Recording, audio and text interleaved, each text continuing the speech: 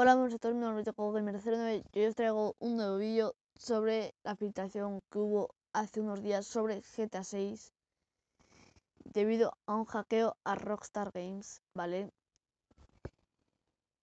Se ha mucho desde esto, el, el hacker se suponía que iba a parar, no, no ha sido así, ha vuelto a amenazar con volver a hackear y vender códigos sobre GTA 6 GTA V y demás. Pero Rockstar Games hace unos días comentó y respondió al hackeo con un tweet que os enseñaré a continuación. No es broma, 100% real.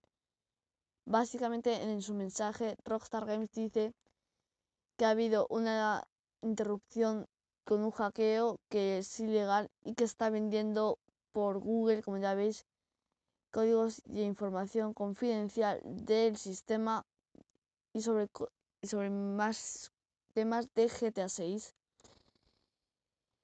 No, y bueno, también podéis que esté peticiones y eso, introducción y bueno, que la situación se está yendo de madre. Claro, este vídeo no lo tenía pensado grabar, yo tenía pensado grabar pues GTA 5 o algún juego así. nada más que deciros adiós.